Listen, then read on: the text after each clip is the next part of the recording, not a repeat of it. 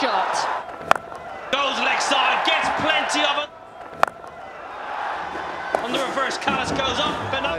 65. Looks to go big this time around. Jacques Kallis in the stands. Could that be the moment for a 600 Real 6 and in style he reaches to his half century as well.